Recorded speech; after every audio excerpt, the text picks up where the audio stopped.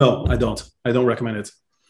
In the book, we also uh, specifically advise against it because that's a case where you have only potential cons and no potential pros. So we recommend at least 15 gram net carbohydrates within one to two hours or within a few hours of the workout.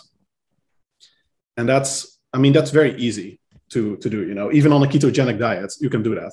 To a targeted ketogenic diet, you can still get 15 gram net carbs in. So I think that that's very doable for anyone. And there's basically no reason not to do it because if we, in our review, if we look specifically at the studies of fasted versus non-fasted, there is a trend that fasted is worse.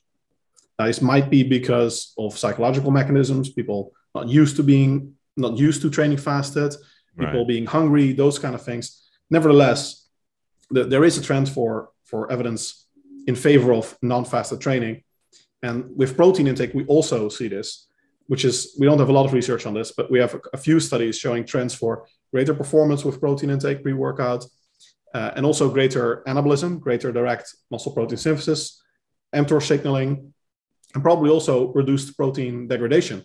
Because if you're training and you haven't consumed any protein, then you are you you have no substrate, so you can't build new muscle. The best case scenario is essentially if you're training your biceps fasted, that your body's going to break down your quads to build your biceps, and that's not really a positive either because the next workout you're going to train maybe your quads, and then it's breaking down your biceps to build your quads.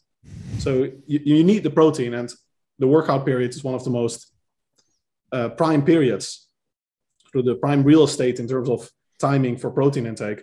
So I, I see no reason to, to even risk that, even though I, I would agree that the research is not terribly strong that you need to train right. With with pre-workout feeding.